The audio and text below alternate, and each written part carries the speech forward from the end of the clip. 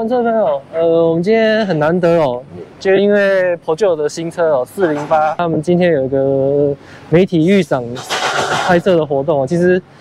p o 有这样的预赏活动，其实很久很久，因为大家知道 p o j o 是比较低调一点的，所以他们一些新车发表基本上都不会有这样的活动，就是去单纯的做一个试车，他们也很少会有像今天我们。他有租那个南广南港的那个瓶盖工厂啊，因为它里面有放音乐，有有点大声，所以我阿北就在外面做一个呃侧录的动作哦。那四零八的部分啊，我们大概来讲一下，因为它的造型哦，基本上我们可以从这边偷看一下，偷窥一下。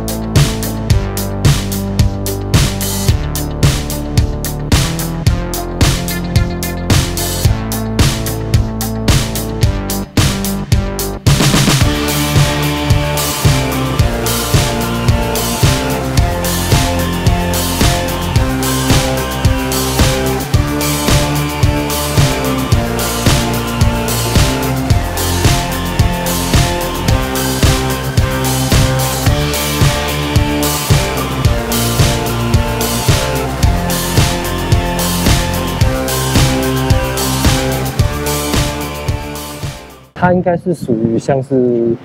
CUB 哦，就是 close over 的一个设定哦。行李箱它在后排未倾倒的状态下有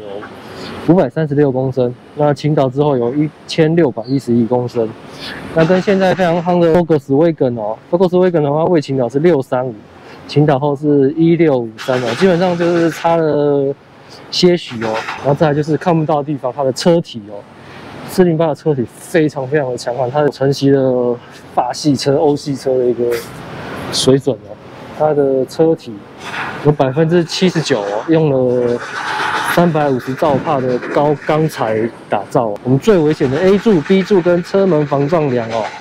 还是采用热压成型的钢材哦，然后它的强度到达一千六百兆帕哦，所以它是非常非常的。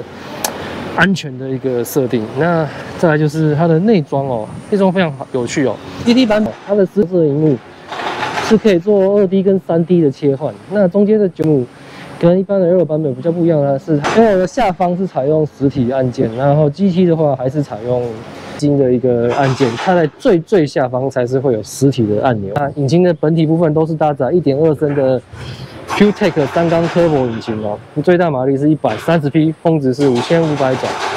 那扭力是二三点四公斤，一千七百五十转产生哦，那都是搭配的八速一个变速箱。那再一个很特别哦，GT 它的车色是采用我们所谓的呃双色的一个设计哦，就有类似变色龙的设计。它在阳光下来看的话，它是有点绿色的的感觉。那在呃光源比较没那么充足的时候，它会呈现一个蓝色的色泽。其实阿贝对这个车非常有兴趣哦，希望到时候试驾的时候可以好好开一下。那我们今天就先到这喽，下次再来有机会试驾它的话，我们再来享受一下试驾的感受吧。